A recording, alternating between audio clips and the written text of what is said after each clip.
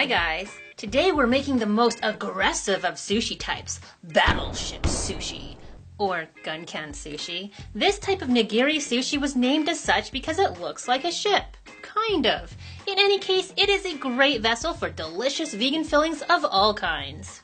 I have my sushi making station here with a bowl of water to rid my hands of any stowaway grains of rice, a cloth to dry off, and seasoned sushi rice.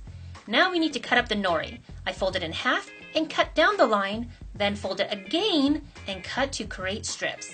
These are admittedly on the thick side and you can make yours thinner if you want. Moisten your hands a little and grab a small portion of the rice. Make sure your hands aren't too wet though or the rice will fall apart as you see here. That's what the cloth was for, to dry off a little. There's a fine line between just moist enough for the rice not to stick and too much moisture.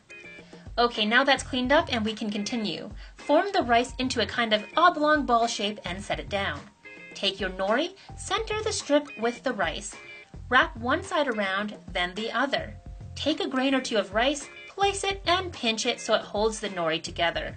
Then gently pat down the rice on the inside.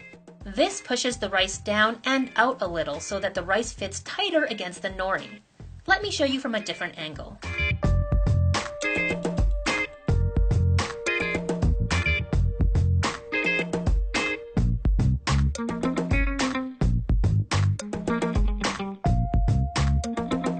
For the filling today, I have a few steamed white mushrooms here chopped up and chilled.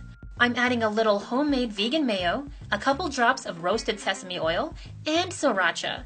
This combination reminds me of spicy scallop sushi, but even better with the mild mushroom umami flavor and aromatic sesame.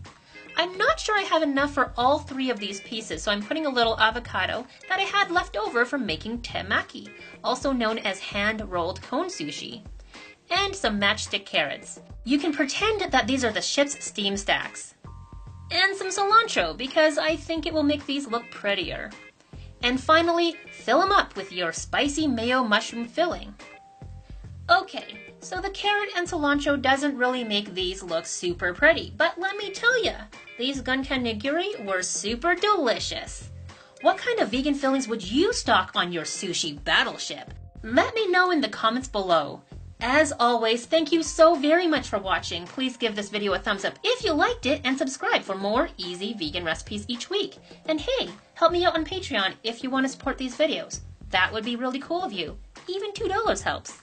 Bye for now.